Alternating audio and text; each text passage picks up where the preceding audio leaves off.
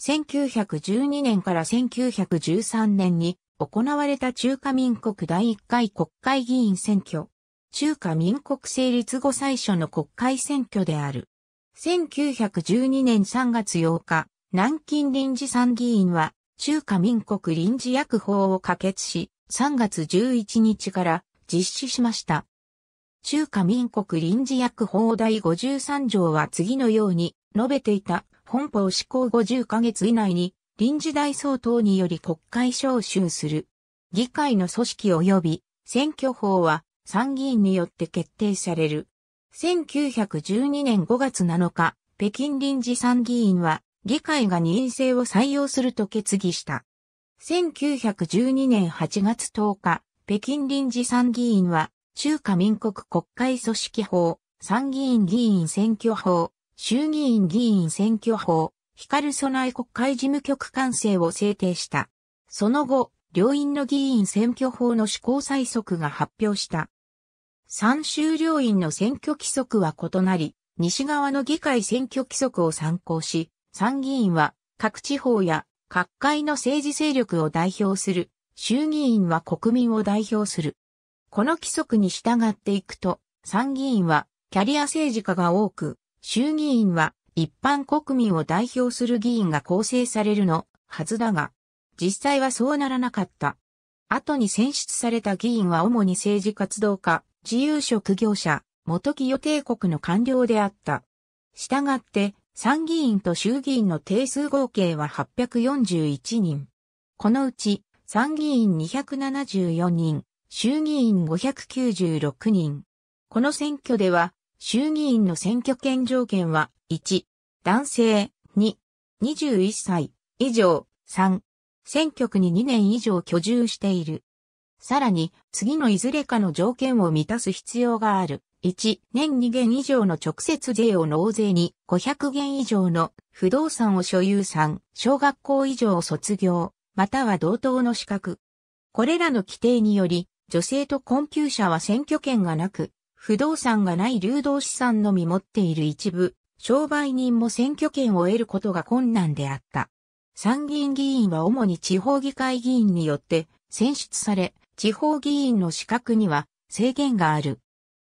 1912年9月4日に交付された、小議会選挙法の第4条は、小議会の選出された議員は25歳以上の男性でなければならないことを規定し、第54条は、小議会の選出された議員が、選挙人名簿に記載されたものでなければならない。第3条では、選挙人名簿に登録されるには、次の条件のいずれかを満たす必要がある。その選挙区に2年以上住む。年間直接税が2元以上納税、または500元以上不動産を有する小学校、または同等の学校を卒業。その結果、議会の両院で選挙に立候補できる有権者は少ない。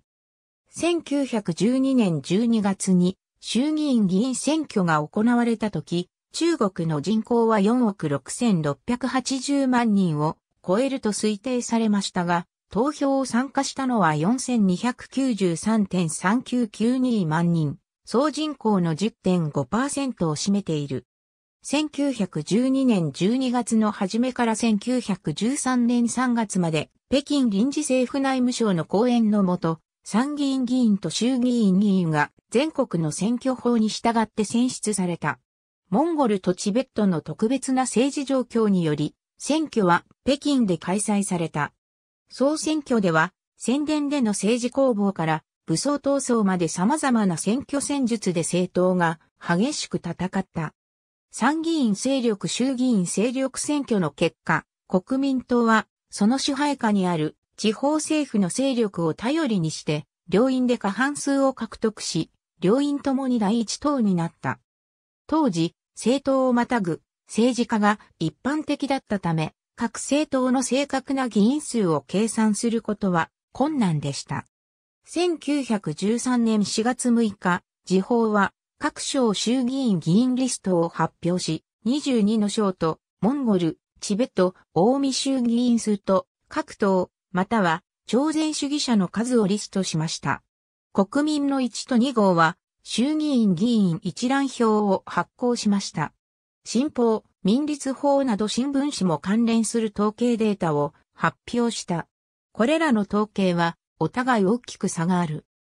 各政党も各省党選衆議院議員数を発表した国民党は360から370、共和党は250人余り、統一党は100余り、民主党も100余り、とそれぞれ発表した上記合計は800余りこの合計数は定数の596議席を大幅に超えた。